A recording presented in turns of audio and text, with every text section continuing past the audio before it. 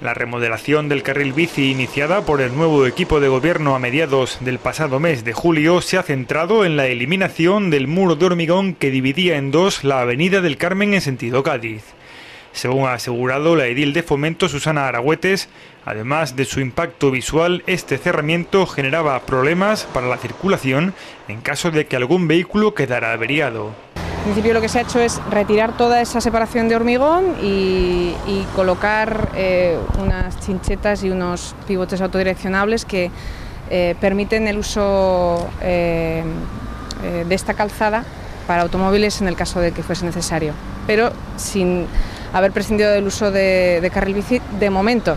La edil de fomento ha mostrado su satisfacción por la celeridad con la que las brigadas operativas municipales han realizado estos trabajos. Han terminado ya y bueno, la verdad que estamos satisfechos con las con, con, las obras, con el ritmo que han llevado, porque se han terminado las obras bastante, con bastante antelación respecto a lo que estaba planificado en, en un principio.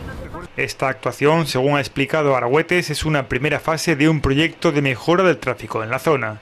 Posteriormente se estudiará la posibilidad de redireccionar el trazado del carril bici por otra ubicación alternativa.